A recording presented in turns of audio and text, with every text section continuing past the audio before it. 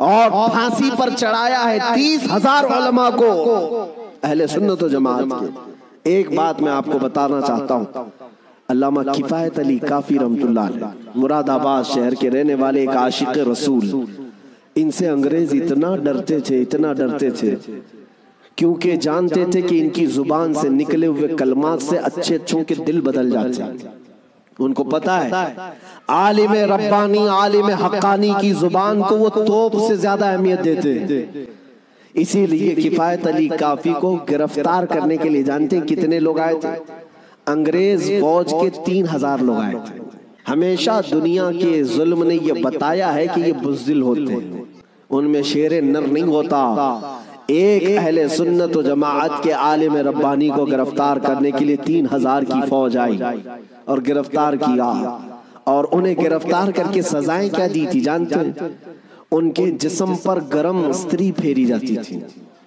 और जब उनकी चमड़ी जल जाती थी तो नमक छिड़का जाता था। आज आने लगा कि तुम फतवा बदल लो।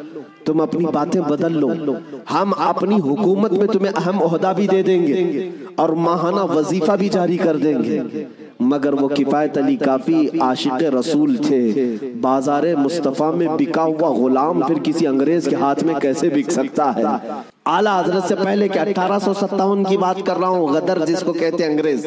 आपने कहा मैं अपने जुमलों को और अपनी ज़ुबान को बदल लूँ वो भी मेरा दीन इतना हल्का और सस्ता नहीं है। मेरे जिस्म को अभी तुमने सिर्फ़ स्त्री से फेरा है अगर टुकड़े भी कर दो तो मैं अपने उसी अज़म पर बाकी रहूँगा। इसलिए कि करबला की दास्तान हमने भी पढ़ी है। मेरे अजीजों किफायत अली काफ़ी ताला को सात दिन के बाद तकरीबन एक चौराहे पर फांसी के लिए लाया गया।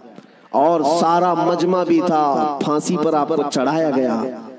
और उस आशिक रसूल से उन्होंने कहा था कि अगर कोई आखिरी ख्वाहिश है तो बताओ। कहता है, आशिक रसूल, फांसी का फंदा लगने से पहले ख्वाहिश ये है कि एक बार नाते रसूल पढ़ लो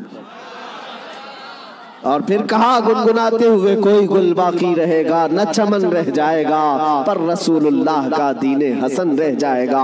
अतलसो कम खाब की पोशाक पे नाजा न हो, इस तने बेजान पर सिर्फ़ खाकी कफन रह जाएगा। सब फना हो जाएँगे काफ़ी, वो लेकिन हशर तक नाम हज़रत का जुबानों पर चलन रह जाएगा।